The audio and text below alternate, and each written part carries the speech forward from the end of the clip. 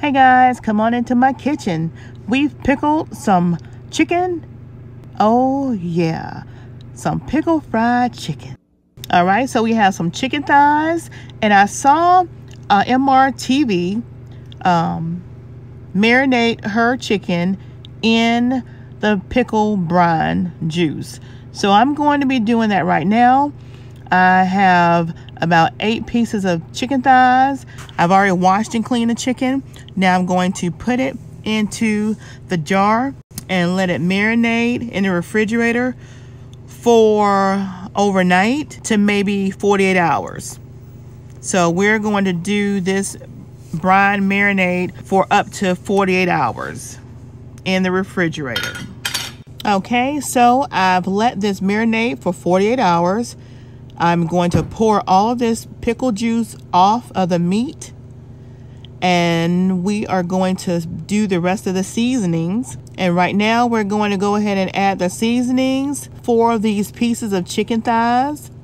The seasonings that I'm going to be using, I'm going to be using lemon pepper, about a tablespoon of each of these seasonings.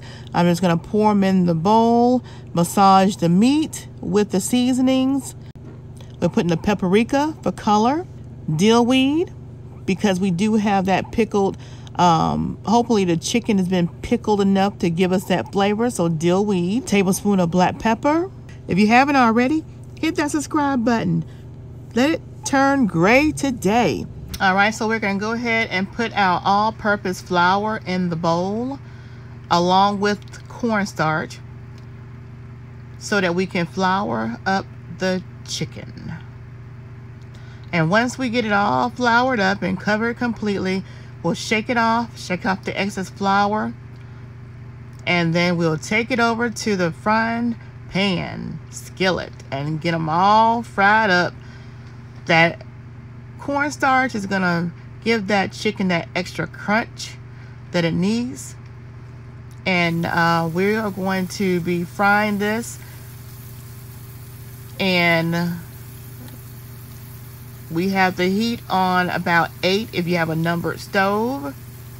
So it's uh, medium high.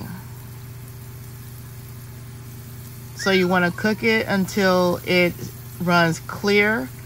You'll see me piercing it with a fork or pierce it with a knife.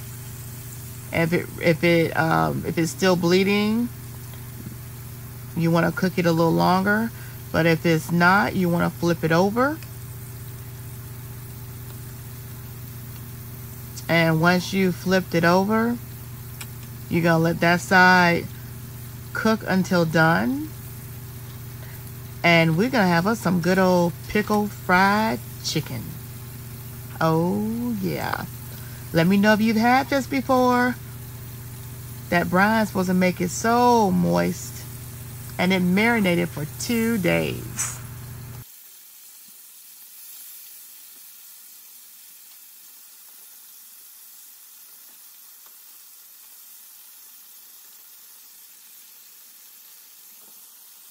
And here you have it crisp chicken. Fried, crisp chicken fried chicken. Oh, yeah. In that good old pickled brine. Come on to the table and let's eat.